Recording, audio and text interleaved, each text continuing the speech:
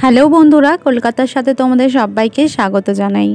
আজকে তোমাদের সাথে শেয়ার করব একটা গরমের রিফ্রেশিং একটা ড্রিঙ্কস একদম ইজি পদ্ধতিতে করব, ঘরে থাকা জিনিসপত্র দিয়েই কিন্তু তোমরা এটা বানিয়ে নিতে পারবে। একদম সিম্পল ওয়েতে তোমাদেরকে দেখাবো একদম রিফ্রেশিং একটা ড্রিঙ্কস তাহলে চলো দেখে নিই কীভাবে করব ড্রিঙ্কসটা কয়েকটা জিনিস লাগবে। সেটাই তোমরা তাহলে করে নিতে পারবে। ঘরে গেস্ট আসলে কিংবা দুপুরে এই অসহ্য গরমের থেকে রেহাইয়ের জন্য তোমরা কিন্তু এই ড্রিঙ্কস বানিয়ে খেতে পারো। তো ইনগ্রিডিয়েন্টস হিসেবে আমি এখানে নিচ্ছি বিট নুন, একটু পুদিনা পাতা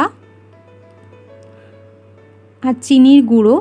নর্মাল মানে চিনিকে আমি এখানে পেস্ট করে নিয়েছি আর লেবু দুটো স্লা গোল গোল করে কেটে নিয়েছি আর কয়েকটা টুকরো করে নিয়েছি।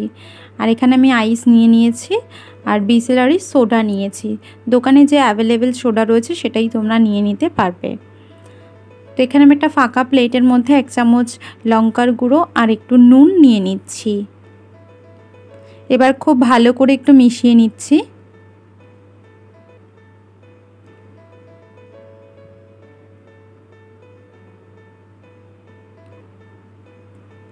এবারে কাঁচের গ্লাস নিয়েছি আর গ্লাসের মাথায় আমি একটা লেবুর টুকরো নিয়ে এরকমভাবে লাগিয়ে দিচ্ছি। এবার গ্লাসটা উল্টো করে যে নুনটা আর লঙ্কাটা আমরা মিশিয়ে রেখেছিলাম সেটা লাগিয়ে দিচ্ছি।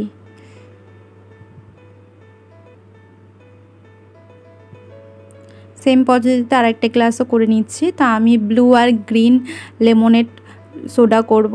তো সেই হিসাবে আমি দুটো গ্লাস নিয়েছি।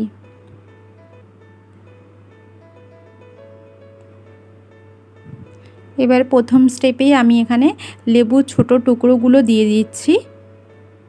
তো একটু রসগুলো বার করে লেবুর টুকরোগুলো দিয়ে দেব গ্লাসের ভিতরেই।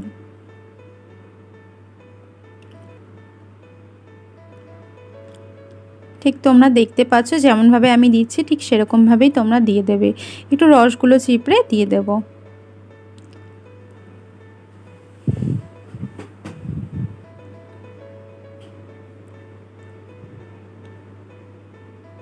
ভীষণই রিফ্রেশিং হয় কিন্তু ড্রিঙ্কসটা মানে খুবই ভালো লাগে এই গরমকালে এই ড্রিঙ্কসটা খেতে।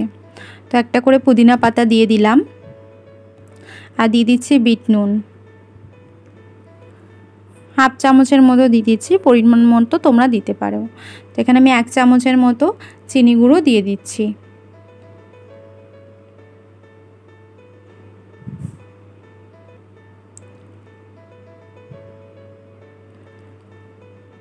একটা গ্লাসে দিচ্ছি আমি ব্লু কালার। নর্মাল দোকানে ফুড কালার বললেই তোমরা এই কালার পেয়ে যাবে। আর একটা আমি গ্রিন কালার দিয়ে দিচ্ছি। এখানে আমি দুটো করে আইস দিয়ে দিচ্ছি।